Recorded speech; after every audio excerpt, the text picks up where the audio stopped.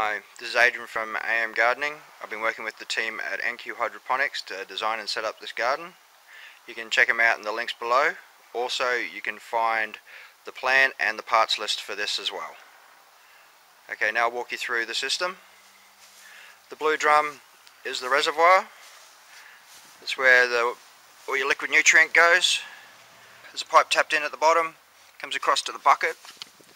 The bucket has a float level in it that's adjustable so that you can fine tune to get your water level right. It comes out of the bucket, around and into the rain gutters.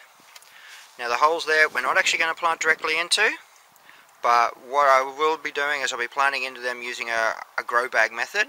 So we're going to still have to build up the ground around it a bit to support the grow bag but I thought it'd be easier just to show you it at this stage so that you can actually understand the mechanical parts of it. I've now completed packing out.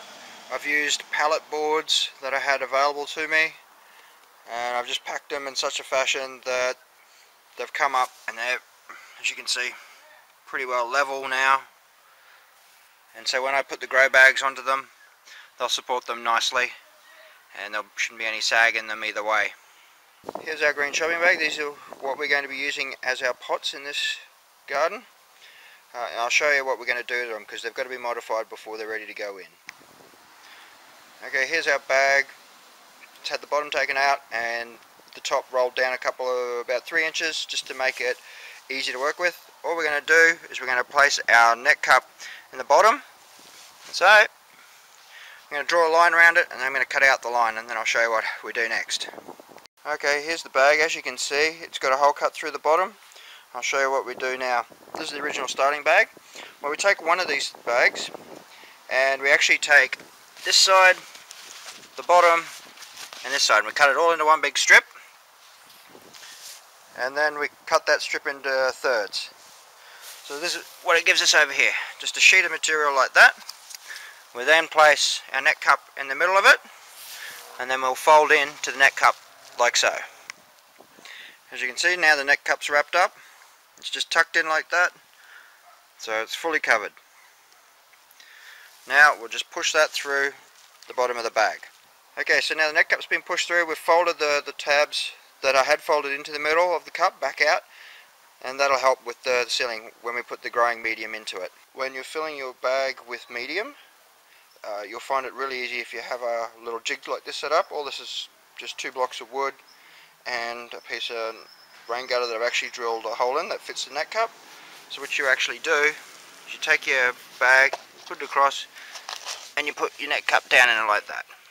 So that way you've actually got a nice stable environment in which to pack your bag, um, and it saves packing it on the, or trying to pack it on the actual grow medium. Okay, I'll just show you what I do in regards to planting the system. Now what I do is I take them out of the punnet, I get a bucket of water, and then in the water I just jiggle it up and down nice and gently. Eventually what will happen is you loosen all the soil off the roots. Now once that's done you can take it over and you just plant it straight into the pot. Okay so now I've filled the 200 litre barrel and I'm using the Cyco Grow and Grow B. Okay so I've planted out the six.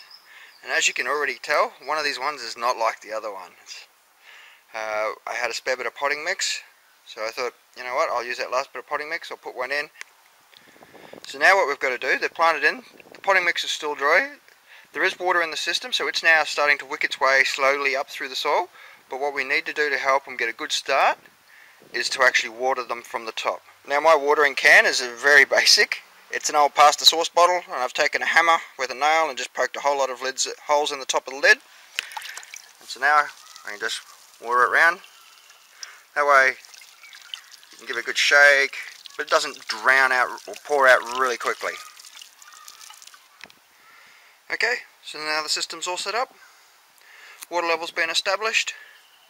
So all we have to do now is we'll just keep a monitor on it. We'll keep a monitor on the seedlings as they establish themselves. So I might have to water by hand a couple of times until I'll, I can determine that they're established once I've confirmed that they're all established, I'll be building another frame similar to this one that holds that tomato plant.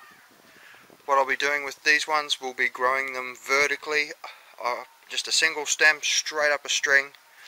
Give you an idea what that means. Here's one I've got started. As you can see it's just a single stem and it's just going straight up that string. I'm going to grow it up until the top there. So that's what I'm going to be trying with these and I'll keep you posted on how it goes.